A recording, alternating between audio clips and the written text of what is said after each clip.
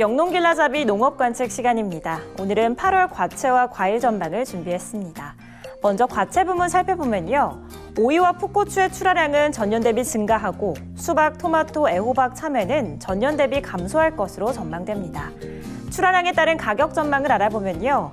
일반 토마토와 대추형 방울토마토는 출하량 감소로 가격이 전년보다는 상승할 전망입니다.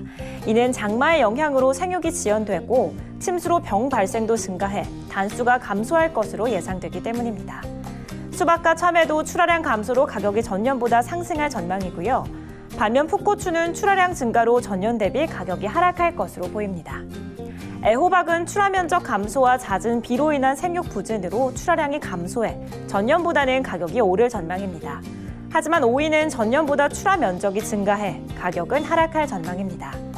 다음은 과일의 8월 전망입니다. 사과는 저온 피해로 출하량이 감소해 전년 대비 가격이 상승할 전망이고요. 배는 출하량이 감소하지만 2019년산 저장배 가격의 하락 영향으로 가격은 떨어질 전망입니다. 하우스 온주는 출하량이 증가하지만 품질이 양호해 전년 대비 가격이 높을 전망입니다. 또 포도의 경우 거봉과 캔버럴리의 가격은 출하량 감소로 전년 대비 높을 전망이고요. 샤인머스켓은 출하량이 증가하지만 소비자 선호도가 높아 가격은 상승할 전망입니다. 복숭아 가격은 출하량 감소로 전년보다는 높아질 전망입니다. 수입 과일의 8월 전망을 알아보면요. 체리, 자몽, 파인애플의 수입량은 전년 대비 감소하고 키위, 망고, 바나나의 수입량은 증가할 전망입니다. 올해 주요 과일 생산량은 전년 대비 감소할 것으로 전망됐습니다. 더 구체적인 농업 관측 정보는 농업관측본부 홈페이지에서 쉽게 확인하실 수 있습니다.